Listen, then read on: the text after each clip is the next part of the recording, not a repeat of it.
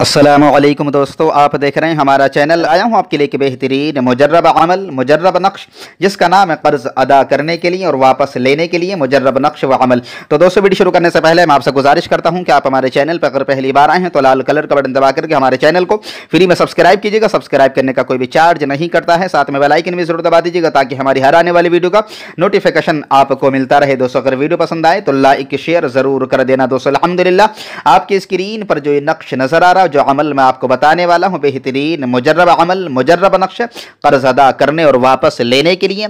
अगर कोई शख्स कर्ज के बोझ तले दबा हुआ हो, कर्ज अदा करने की ताकत न रखता हो, जबकि कर्ज ख्वाह बहुत ज़्यादा तंग करते हों, कर्ज अदा करने के लिए कोई रास्ता नज़र नहीं आ रहा हो न ही कोई इस बारे में समझ आती हो कि कहाँ से कर्ज अदा किया जाए, या ऐसी सूरत हाल पैदा हो जाए कि किसी ने आपसे रकम बतौर कर्ज ली हो और वह वापस न करता हो तो अल्हम्दुलिल्लाह ये नक्श व अमल मुजर्रब है, कर्ज अदा करने के लिए और वापस लेने के लिए बेहतरीन आजमोदा इस्तेमाल कीजिएगा। फ़ायदा उठाइएगा, मेरी तरफ़ से आपको पूरी इजाज़त है। तो चलिए दोस्तों, सबसे पहले मैं आपको नक्श लिखने का पूरा तरीका समझाता हूँ। बाद में इन अमल का तरीका मैं आपको बताने वाला हूँ। तो दोस्तों, ये नक्श लिखना आपको तजरे यानी कि जुमेरात के दिन। नक्श लिखने का जो टाइम रहेगा दोस्तों, वो सुबह फजर की नमाज़ के बाद रहेगा। नक्श लिखने से पहले दोस्तों, गरीब गुरबा में सदका वगैरह ज़रूर तकसीम कर देना।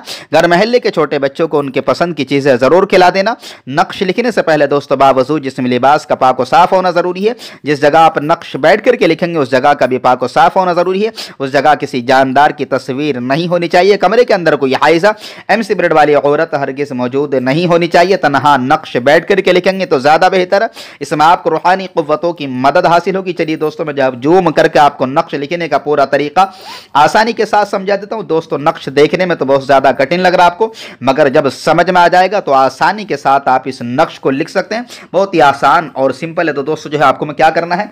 इस तरीके से दोस्तों, आपको जिस तरीके से खाने बने हुए नज़र आ रहे हैं, आपको इस तरीके से आपको खाने बना लेने हैं। दोस्तों, इसमें टाइम तो लगेगा मतलब अलहमदिल्ला मगर बेहतरीन मुजरब है। जब आप ये खाने बनाना तो बनाने के बाद में आपको सबसे पहले बिसमीम आपको लिख देनी है। फिर उसके बाद में दोस्तों, आपको कुरानी मुकदस की कायत है। हसबन वन अमल वकील, ये आपको जो है दोस्तों इस सेट में लिख देनी है और इसी सेट में दोस्तों आपको यही आयत आपको लिख देनी है। जब दोस्तों आप ये आयत लिख दें तो लिखने के बाद दोस्तों आपको क्या करना है? अब इस मिसाली नक्श के साथ में जो आपकी स्क्रीन पर नज़र आ रहा है, ये कुछ भी नहीं है। ये मिसाली एग्ज़ाम्पल एक नक्श है। इस चाल के साथ में दोस्तों आपको जो है अंदर के आदाद और जो कुरान मुकदस की आयत है, ला तो सुबहाना का इन्नी को तो मेरा ालमीन इस चाल के साथ आपको पुर करना है। पहले दोस्तों आपको कुरान मुकदस की आयत इसी चाल के साथ लिखनी है।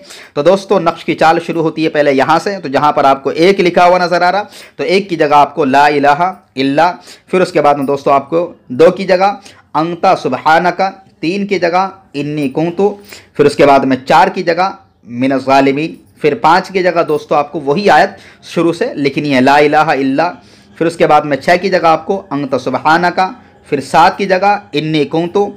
फिर उसके बाद में आठ की जगह मिनज़ालिमीन फिर नौ की जगह, फिर दोस्तों आपको वही आयत शुरू करनी है, ला इलाहा इल्ला। फिर उसके बाद में दस की जगह, अंत सुबहाना का फिर ग्यारह की जगह, इन्नी तो? फिर बारह की जगह मिनज़ालिमीन तेरह की जगह, फिर दोस्तों आपको ला इलाहा इल्ला, फिर चौदह की जगह अंत सुबहाना का फिर उसके बाद में पंद्रह की जगह इन निकूतो फिर सोलह की जगह दोस्तों आपको मिनस ालिमीन बस इसी चाल के साथ आपको जो है लिख देनी है। फिर उसके बाद में दोस्तों आपको जब आदाद नज़र आ रहे हैं, वो आदाद भी इसी चाल के साथ में आपको पुर करना है। आपने आयत लिखी थी ऊपर, अब नीचे की तरफ़ जो है दोस्तों आपको जो है ऐसे चाल की शुरू होती है, जो आदाद है। तो एक की जगह आपको दोस्तों आपको वन फोर सेवन लिखना, और दो की जगह आपको लिखना है टू फोर सेवन। और तीन की जगह आपको लिखना है थ्री फोर सेवन और चार की जगह आपको लिखना है डबल फोर सेवन पाँच की जगह दोस्तों जो है आपको फाइव फोर सेवन और छः की जगह जो है सिक्स फोर सेवन और सात की जगह जो है सेवन एट फोर सेवन और आठ की जगह दोस्तों जो है एट फोर सेवन और नौ की जगह जो है आपको नाइन फोर सेवन और दस की जगह जो है दोस्तों आपको ज़ीरो फाइव सेवन और ग्यारह की जगह जो है दोस्तों आपको वन फाइव सेवन और बारह की जगह दोस्तों आपको जो है टू फाइव सेवन और तेरह की जगह फोर फाइव सेवन और चौदह की जगह जो है आपको तो डबल फाइव सेवन और पंद्रह की जगह आपको सिक्स फाइव सेवन और सोलह की जगह जो है आपको सेवन फाइव सेवन। दोस्तों, फिर उसके बाद में एक नक्श और मौजूद है इसके अंदर। वो भी आपको इसी मिसाली नक्श के साथ में आपको पुर करना है। वो शुरू होता है यहाँ से आपको। तो एक की जगह आपको दोस्तों आपको फाइव ज़ीरो वन लिखना है और दो की जगह आपको सिक्स ज़ीरो वन और तीन की जगह आपको सेवन ज़ीरो वन और चार की जगह जो है दोस्तों आपको एट ज़ीरो वन और पाँच की जगह नाइन ज़ीरो वन छः की जगह आपको ज़ीरो डबल वन और सात की जगह आपको ट्रिपल वन और आठ की जगह आपको दोस्तों टू डबल वन और नौ की जगह आपको दोस्तों जो है आपको थ्री डबल वन और दस की जगह आपको फोर डबल वन और ग्यारह की जगह दोस्तों जो है आपको लिखना है फाइव डबल वन और बारह की जगह दोस्तों आपको लिखना है सिक्स डबल वन और तेरह की जगह दोस्तों आपको लिखना है सेवन डबल वन और चौदह की जगह आपको लिखना है एट डबल वन और पंद्रह की जगह दोस्तों जो आपको लिखना है नाइन डबल वन और सोलह की जगह दोस्तों आपको लिखना है ज़ीरो टू वन। ठीक है दोस्तों, इसी चाल के साथ में जिस तरीके से मैंने आपको बता दिया, बस इसी मिसाली नक्श के साथ में आपको अंदर पुर कर लेना है। पहले जो है तो ला तो सुबहाना का इन्नी कोत में सालिबिन वाला वाला पुर करना है, फिर उसके बाद में आपको वन फोर सेवन वाला, फिर उसके बाद में जो है आपको तीसरा जो नक्श लिखना आपको फाइव ज़ीरो वन वाला। दोस्तों, एक नक्श के अंदर ये जो है तीन नक्श मौजूद है अलहमदिल्ला तीनों नक्श जो है बहुत ही बेहतरीन, मुजर्रब है, आजमुदा। अब दोस्तों, आप अमल का तरीका जो है आप आप सुन लीजिएगा आसानी के साथ में। आपको दोस्तों, अमल का तरीका वही रहेगा, जो रिक्वायरमेंट नक्श लिखने की है, वही रिक्वायरमेंट हर रोज़ जो है दोस्तों आपको जो है, क्या बोलते हैं, अमल करने की रहेगी। याद रहे कि दोस्तों, आपको गरीब गुरबा में सदका सिर्फ़ एक ही बार कर देना है, मगर आपका जिसम लिबास, है ना, और जगह का भी पाको साफ़ होना, वो हर रोज़ ज़रूरी है, आपका हर रोज़ बाबूजू होना ज़रूरी है। नमाज़ की पाबंदी ज़रूरी है, नमाज़ के बाद ही जो दोस्तों आपको अमल करना है। फजर की नमाज़ के बाद आपको अमल करना है। उसी दिन से पहले दोस्तों आप अमल कर लें और फिर उसके बाद में दोस्तों आप नक्श बना लें। फजरे के दिन फजर की नमाज़ यानी कि जुमेरात के दिन जो है, पहले आप फजर की नमाज़ पढ़ लें।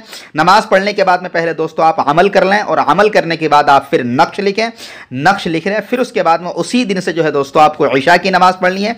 ईशा की नमाज़ पढ़ने के बाद में आपको दूसरा अमल करना। दो टाइम आपको अमल करना है। चालीस दिन का दोस्तों अमल रहेगा। अलहमदिल्ला अगर आपने ये थोड़ी सी मेहनत कर ली तो रब के फजल से अल्लाह ने चाह तो आपका, आपकी हर मुराद पूरी हो जाएगी, आप किसी के कर्ज नहीं रहेंगे और आपसे अगर किसी ने कर्ज अगर ले रखा तो अल्लाह के फजल से इस नक्श की बरकत से और अमल की बरकत से वो आपका कर्ज, यानी कि आपका कितना भी पैसा हो, वो जल्द अज जल्द अदा कर देगा। इस अमल की बरकत से रब तबारक वाली उसके पास ऐसा असबाब बना देगा ताकि वो आपका कर्ज अदा कर दे। वह अमल का तरीका मैं आपको बता रहा हूँ।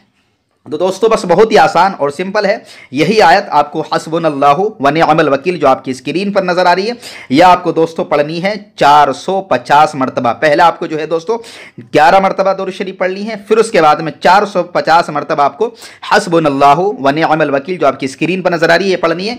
फिर उसके बाद दोस्तों आपको जो है ग्यारह मरतबा आपको दरुज शरीफ पढ़नी है, बाद में आपको ईशा की नमाज़ के बाद आपको दूसरा अमल करना है जो आपकी स्क्रीन पर नज़र आ रही है।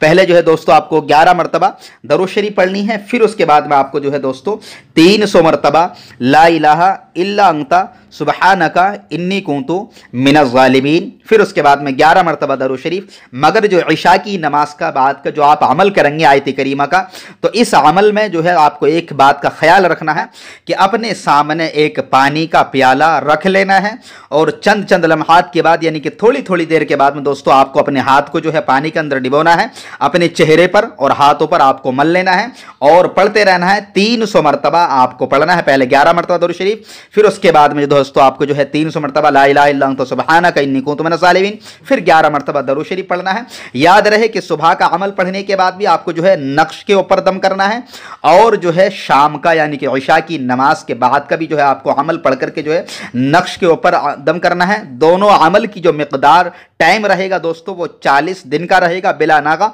नमाज़ की पाबंदी करनी है अलहमदिल्ला जब आप दोस्तों इस तरीके से जब चालीस दिन का आप अमल कर लेंगे तो चालीस दिन का अमल करने के बाद में दोस्तों आपको इस तरीके से जो आपको तावीज़ बना लेना है और बनाने के बाद में आपको ग्रीन कलर के तागे के ऊपर, तागा इसके ऊपर लपेट लेना है और अपने बाजू पर बाँध लेना है। इन शज़ीज़ जब तक ये आप अमल नक्श, जब तक अलहमदिल्ला ये नक्श जो है आपके पास रहेगा। बफजल बारी ताला कर्ज के गम से बचे रहेंगे और मतलूबा यानी कि जो भी आपका जायज़ मकसद हो, मकसद होगा अल्हम्दुलिल्लाह वो बहुत जल्द आप अपने मकसद के अंदर कामयाब हो जाएँगे और कभी भी कभी भी किसी चीज़ की आपको ज़रूरत लाक होगी तो रब तबारक वाली परवरदिगार आलम उसकी ज़रूरत यानी कि जिसके पास ये नक्श रहेगा उसकी ज़रूरत को गैब से पूरा फरमा देगा। अलहमदिल्ला बेहतरीन मुजर्रब आजमुदा इस्तेमाल कीजिएगा फ़ायदा उठाइएगा। मेरी तरफ़ से आपको पूरी इजाज़त है। तो दोस्तों अगर आपको हमारी वीडियो अगर पसंद आई चाहिए तो हमारे चैनल को ज़रूर सब्सक्राइब कीजिएगा। हमारी जो मेहनत का फल है वो आपके लाइक के बटन पर दबाना है। इस वीडियो को अपने दोस्तों के साथ ज़रूर शेयर कर देना।